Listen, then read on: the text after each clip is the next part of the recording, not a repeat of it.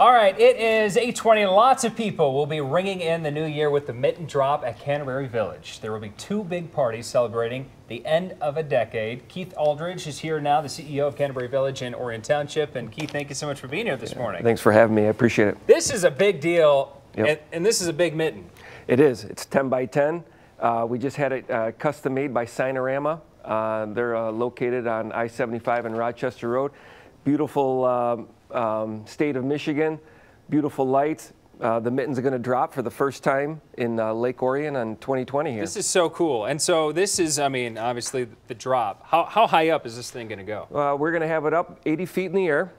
And then uh, we're going to do two drops, one for the little guys at uh, 6.30 so the kids can enjoy uh, ringing in the new year as well. Great. And then the adult party is obviously in the evening and the big drops at midnight. Okay, so adults, you want to hang out later, have some more fun. The kids is perfect too. Mm-hmm. And um, what else can we expect at the, the kids party that you're going to be doing for the Uh, kids drop? well, we're going to have, uh, you know, bounce houses, carriage rides, um, all kinds of fun stuff. We're going to have uh, people juggling fire and, um, you know, DJs and, and uh, lots of uh, food and entertainment out there for everybody to enjoy. It's going to be a neat event. Okay, and then the adult party starts later. It's at nine o'clock, I think. About 8 o'clock, uh, Eight the, o'clock. there's two adult parties. There's one inside our big banquet facility at Kings Court Castle. Okay. And then there's an outside party, which is pretty inexpensive to uh, join. Okay, so we've got the, the kids party early on, and then the adult. We, we were surrounded also by, I think, some of the adult. Uh, yes. the part of the adult parties, I would think, some of the, the beverages here. And,